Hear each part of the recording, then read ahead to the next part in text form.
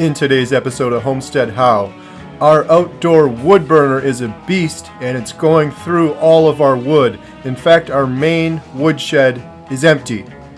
In today's video, we go and collect some more firewood to heat our house and we've waited way too long once again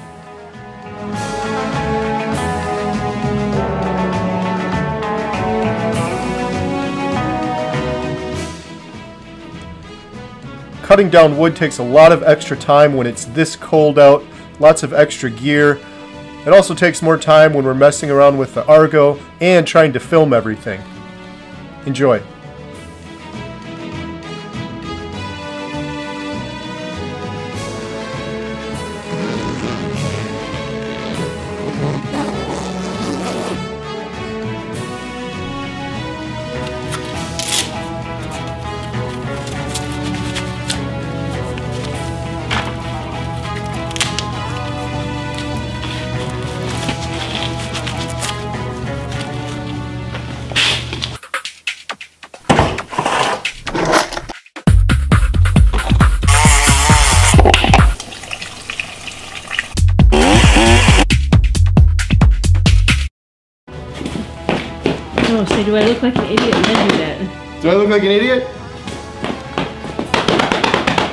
You have a knife or something you can try cutting me with?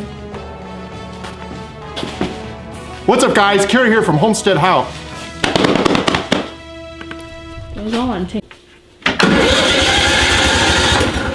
Come on.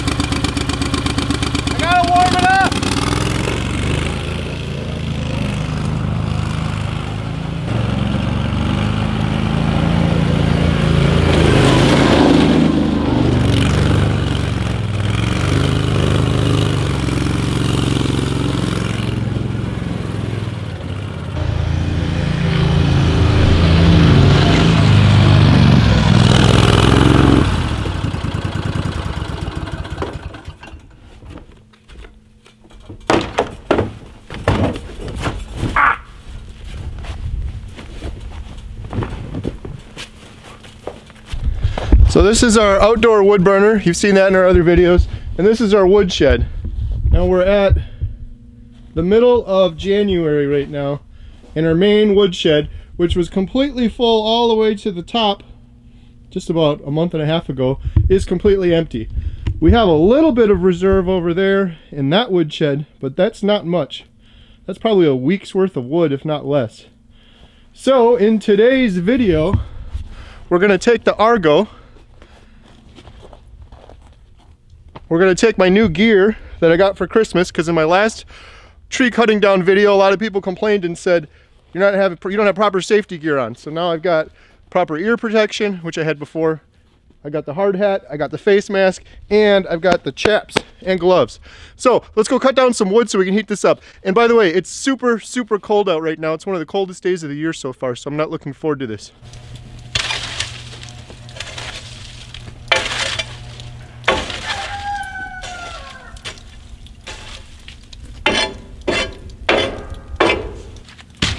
Think I got like a day's worth of wood left over here.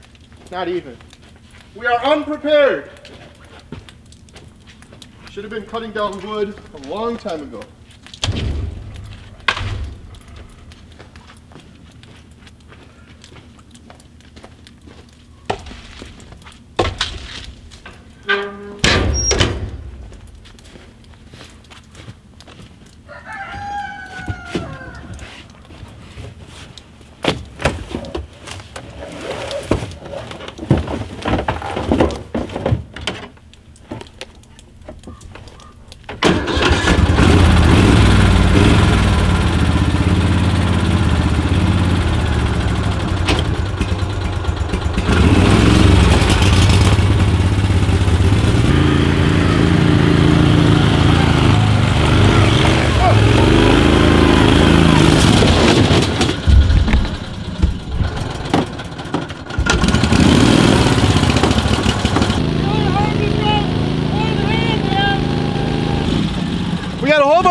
Trees all over our property, but the snow is so thick the Argo bottoms out.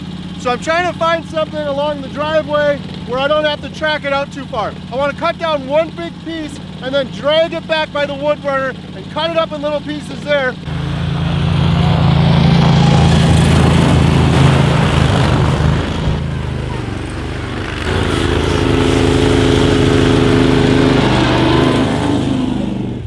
Trying to find something along the driveway here. We got this dead one here. We had to cut down this other part of it, so I know it's dead, and it's a hardwood tree. It's not huge, but it's right by the side of the driveway, so it'll be easy to access and cut. So we're gonna cut this one down, let's go. All right, so this is obviously a small tree, but it's dead, and it's near the side of the driveway, and it's gonna be easy for me to hook up to a tow rope and drag back so we can burn it up. So I'm gonna cut this tree down. Gonna fall that way if my calculations are correct, and they never are.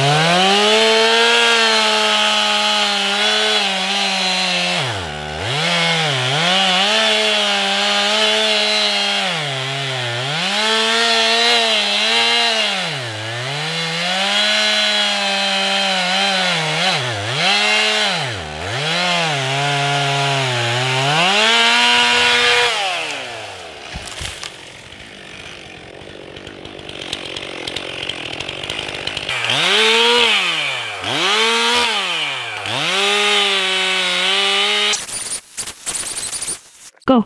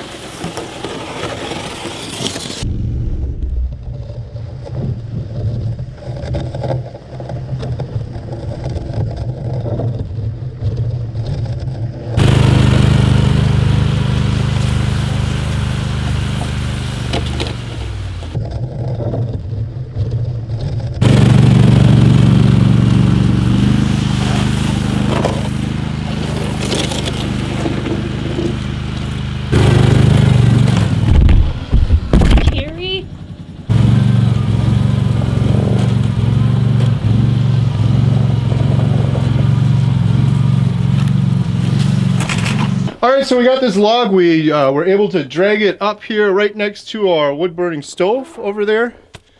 And while this isn't a huge tree by any means, it was easily accessible. It was about to fall in our driveway because it was dead.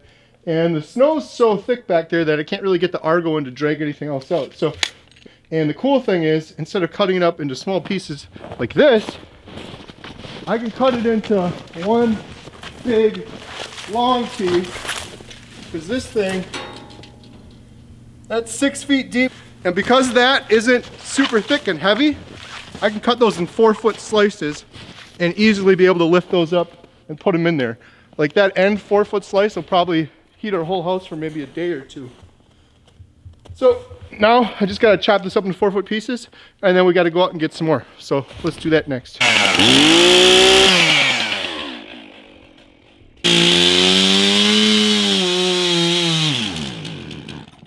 This thing ran before I paid $100 to have this.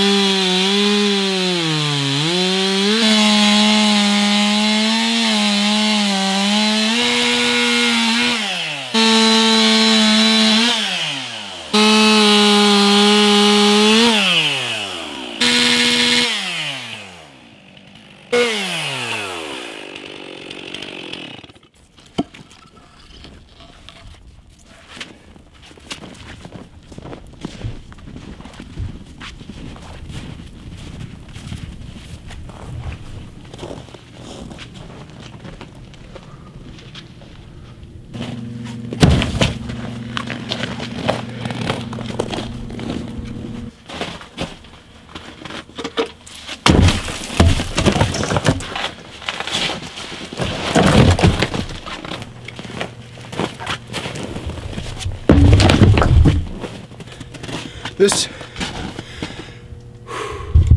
This is why we don't pay for gym memberships.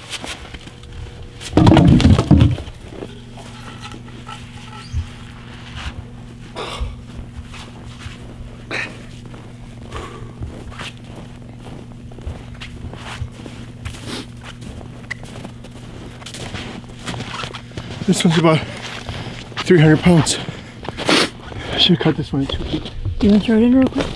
Oh, it's too heavy. Okay. All right, so all of that work for that little bit of wood. Now we got to go out and do some more. I guess it really wasn't too much work, all things considered.